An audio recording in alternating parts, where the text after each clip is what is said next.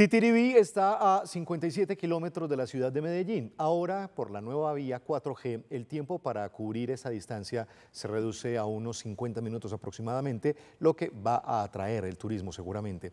La inquietud reside ahora en habitantes de lugares como el corregimiento La Albania, que temen verse afectados porque la vía que conduce al municipio podría aislarlos.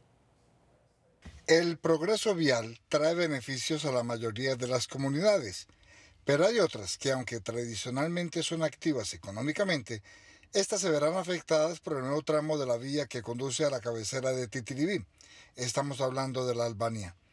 Ya la administración local piensa en esos comerciantes y empleos. Un lote que tiene el municipio cercano al rompoy de Argos o lo que conocemos en la Siria, si eventualmente podemos adelantar un proyecto ahí para entregárselo sobre todo al sector gastronómico y los negocios del corredor de la Albania. La cercanía con Medellín por la nueva vía y eso que aún falta un tramo importante por habilitar, reduce el tiempo de recorrido. Esto incrementó el turismo y de personas y entidades interesadas en invertir en este sector de la economía.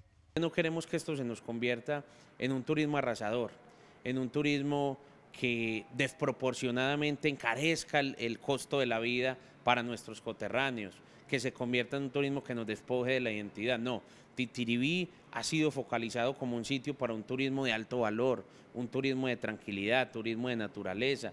Titiribí fue elegido por la gobernación de Antioquia como uno de los pueblos mágicos de Antioquia.